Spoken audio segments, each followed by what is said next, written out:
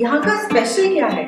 ये होता है मेरा पहला सवाल बस से प्लेन से ट्रेन से, किसी भी नई जगह पे उतरते हुए। मुझे ट्रैवल करना बहुत पसंद है।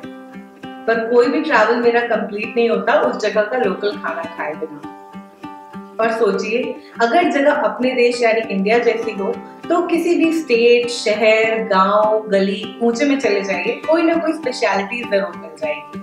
तो मैंने यही सोचा, क्यों ना इन सब जगहों को मैं लेके आऊँ आपके घर में, उन जगहों की स्पेशल खाने के द्वारा। स्वागत है आपका इस नई सीरीज़ में, जिसका नाम है यहाँ का स्पेशल और हम मिलके बनाएँगे इन जगहों का स्पेशल खाना।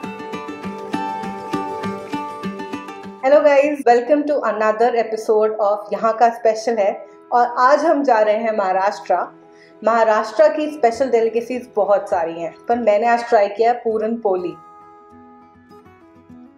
पूरन पोली मैंने खाई थी बहुत साल पहले अपनी कज़न के घर में उनकी शादी हुई थी महाराष्ट्र में, और उनकी मदर इन लॉ ने पूरन पोली बनाई थी।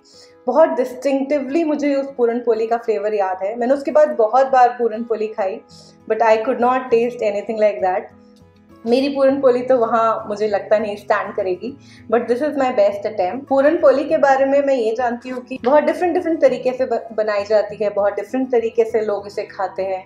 जैसे कुछ लोग इसे आमटी के साथ खाते हैं, दूध के साथ खाते हैं, आमरस के साथ खाते हैं तो मैंने भी आमरस बनाया है आज। और पूरन पोली के बारे में मुझे ये पता है कि बहुत ज़्यादा घी खाया जाता है इसके साथ। तो मैंने भी बहुत सारी घी की ड्रेसिंग कर दी अपनी पूरन पोली पे। जब मैं ढूंढ रही थी कि पूरन पोली की हिस्ट्री के बारे में कुछ पता चल जाए या ये कहाँ से ओरिजिनेट हुई ये पता चल जाए तो इंटरनेट पे तो कुछ मिला नहीं, बस इतना पता चला वहाँ के लोकल्स से कि ये डिश पेशवाओं के टाइम से चली आ रही है। तो देखते हैं ये पूरन पोली कैसे बनाई जाती है। पूरन पोली दो शब्दों से बना हुआ है। पूरन है चने की दाल का मसाला, जिसमें जागरी मिक्स करके उसको स्टफिंग की तरह बनाया जाता है। और पोली वहाँ रोटियों को बोलते हैं।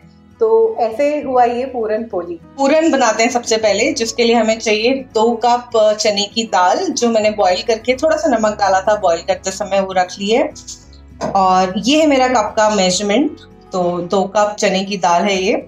और जितनी दाल ली है, उसकी थ्री फोर्थ हमें जागरी, यानी गुड़ लेना है। आप लोग नॉर्मल जागरी गुड़ का यूज़ कर सकते हैं। पर मेरे पास जागरी पाउडर है, इसलिए मैंने वो ले लिया है। उसके साथ मैंने ली है इलायची, चार इलायची ली है मैंने। और मैंने ले लिया है जायफल, जिसे नटमैग भी कहते हैं। तो चलिए, पूरन पोली का पूरन बनाते हैं। तो ये चार इलायची ले ली है मैंने। और इनको अब पीस लेते हैं।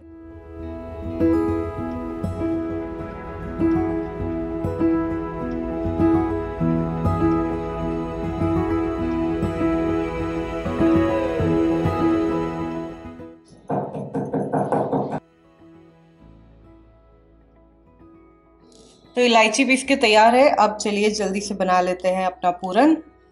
पूरन बनाने के लिए हम ले रहे हैं सबसे पहले घी। दो चम्मच घी डाल रही हूँ।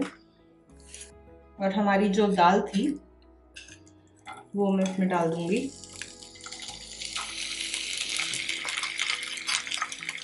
इसको थोड़ा सा भून लेती हूँ। उसके बाद मैं इसमें डालने वाली हूँ गुड़। मीडियम फ्लेम पे रखना है मुझे इसको।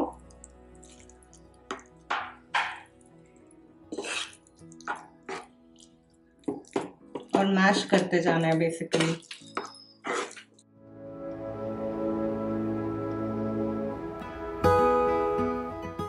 चलिए इसमें अब गुड़ डाल देते हैं।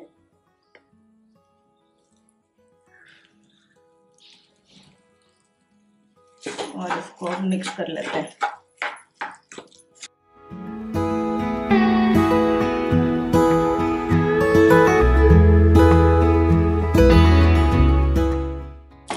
से मैश कर लेंगे। खुशबू ऑलरेडी बहुत अच्छी आनी शुरू हो गई है। तो ये जितना भी मैश हो सकता था, हमने मैश कर लिया है। बाकी इसे मिक्सी में चला लेंगे। इसमें डाल देती हूँ इलायची एंड नटमैग जायफल।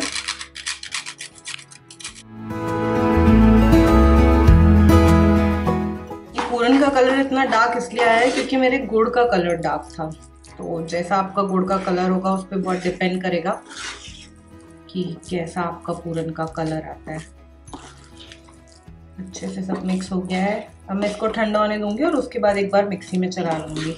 तो जब तक हमारा पूरन ठंडा हो रहा है, तब तक हम आमरस बना लेते हैं, जिसे हम सर्व करेंगे पूरन पोली के साथ। तो आमरस के लिए चाहिए एक मीडियम साइज़ आम, जिसे मैंने डाइस कर लिया है। एक टेबल स्पून जागरी या गुड़। गुड़ पाउडर है मेरे पास, इसलिए वही यूज़ कर रही हूँ। और दो टेबल स्पून मिल्क ले लिया है। इसे मिक्सी में चर्न कर लेते हैं और आमरस रेडी कर लेते हैं तब तक।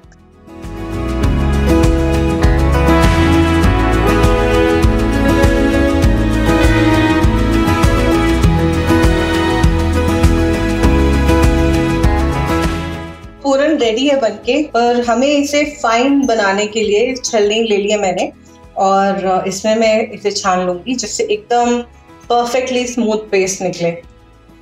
तो हाथ से करना पड़ेगा।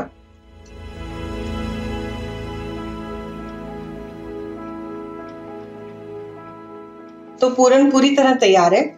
और पोली के लिए जिसे रोटी कहते हैं हम नॉर्मल लैंग्वेज में, उसके लिए आटा मैंने पहले से मल के रखा हुआ था। तो काफ़ी सॉफ्ट आटा मला है मैंने इसके लिए।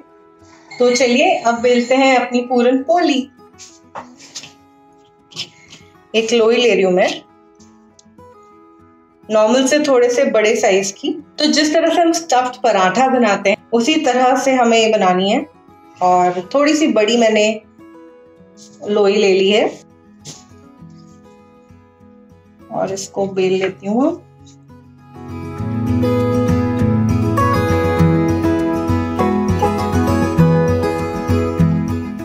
अब हम लेते हैं पूरन।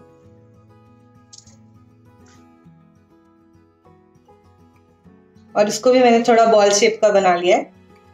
और अब इसको स्टफ़ करते हैं, ऐसे।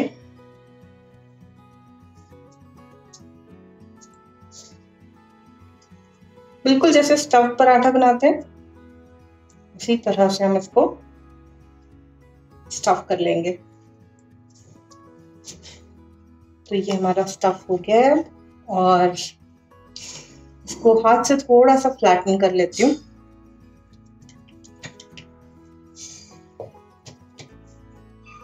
और जैसे रोटी को बेलते हैं पलेथन लगा के, बिल्कुल उसी तरीके से इसको बेलने वाली हूँ।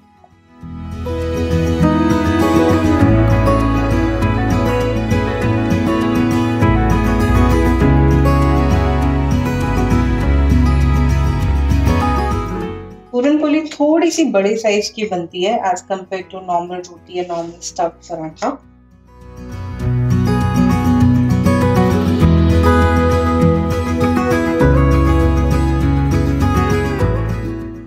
By the way आपको पता है कि पूरन पोली कर्नाटका में भी खाई जाती है। सिर्फ़ नाम का फ़र्क है। यहाँ पे इसको कहते हैं होड़ी के। तो ये मैंने बेल लिया है जैसा आप देख सकते हैं। और चलिए, अब इसे सेक लेते हैं। तो रोटी की तरह, जैसे रोटी को सेकते हैं, उसी तरह से सेक लेंगे इसको। तो हमारी पूरन पोली रेडी है और अब हम इसे तैयार कर देते हैं। तो जब तक घी ना पड़े बहुत सारा पूरन पोली में तो पूरन पोली का मज़ा नहीं आता। अब हुई हमारी पूरन पोली रेडी आमरस, पूरन पोली.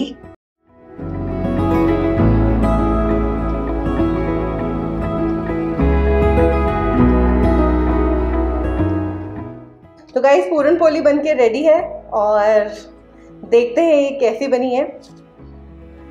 तो मैं ट्राई करती हूँ इसे. इस पर बहुत सारे घी की सर्विंग कर दी है मैंने.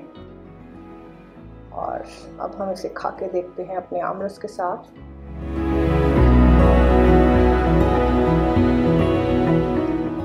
हम्म। तो अगर आपको ये एपिसोड अच्छा लगा, पूरन पोली की इजी सिंपल रेसिपी अच्छी लगी don't forget to subscribe to our channel because बहुत सारे कुकिंग वीडियोस यहाँ का स्पेशल सीरीज़ में लेके मैं आने वाली हूँ और बहुत सारे फन वीडियोस बनाते हैं हम इस चैनल पे, जो आते हैं हमारे सैटरडे को ट्यूसडे को आता है weekend blog so if you would want to watch all those videos please subscribe to our channel and hit that like button if you enjoy watching this recipe also share it with your friends and family whom you think will enjoy this video I see you in the next one bye